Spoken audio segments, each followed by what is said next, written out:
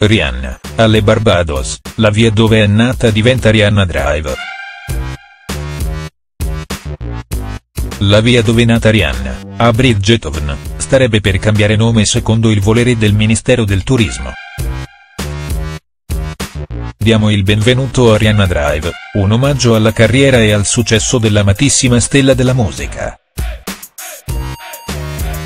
L'annuncio sarà dato ufficialmente il 30 novembre, nel corso delle celebrazioni del Barbados Independence Day.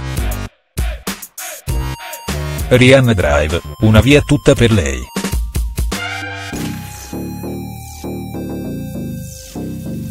Nel comunicato ufficiale si legge tutta la gratitudine e il rispetto con cui Rihanna è tenuta nel suo paese di nascita, Bridgetown, il quale ha deciso di mettere il suo nome alla via dove è nata.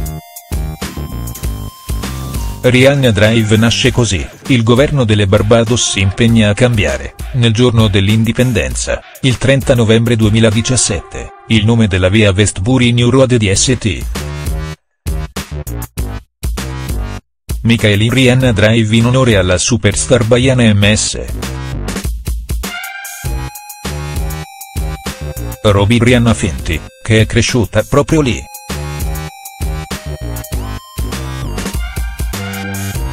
Dunque in quel fatidico giorno, la cantante di Work raggiungerà Freundel-Start, primo ministro, per una cerimonia di due ore che omaggerà l'indipendenza del paese e rivelerà il cambio di nome della Westbury New Road. Rihanna è ferocemente orgogliosa del suo retaggio baiano e ha sempre mantenuto un fortissimo legame con il suo paese d'origine, anche mentre la sua famiglia si trasferiva in America alla ricerca di migliori condizioni. Solo pochi mesi fa, Rihanna ha preso parte ai festeggiamenti per il Cadoument Day, dove ha sfoggiato una parrucca turchese e un bikini di pietre preziose e piume decisamente sopra le righe. Lei, che è stata scoperta nel 2003 dal produttore Evan Rogers e si è trasferita a New York nel 2005 per siglare un contratto di ferro con i Fiamme dopo essersi esibita con gli ZLA. Raid.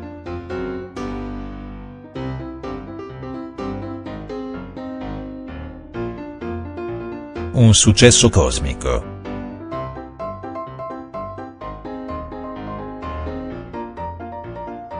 Rihanna è la prima artista baiana al mondo ad aver vinto un premio Grammy, e possiede ancora una tenuta da 22 milioni di dollari sull'isola, nel celebre resort di lusso One Sandy Lane.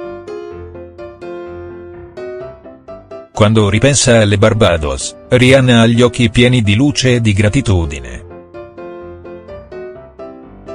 Secondo lei è stata Bridgetown a farle venire quella pelle dura necessaria a sopportare le costanti prese in giro riguardo il fatto che appartiene a due etnie differenti.